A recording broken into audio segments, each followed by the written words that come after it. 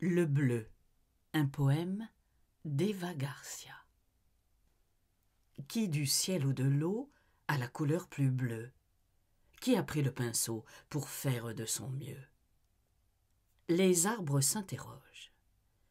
Ils regardent le miroir, chacun fait son éloge, c'est le ciel qu'il faut voir. Et non, dit le grand chêne. C'est l'étang le plus fort, il règne sur le domaine, magnifie son décor. Le frêne rétorque alors Le ciel est merveilleux, de sa palette d'or, il sublime le bleu.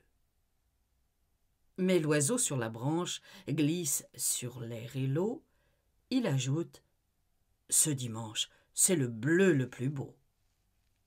Quand le regard se pose, voit-il l'essentiel?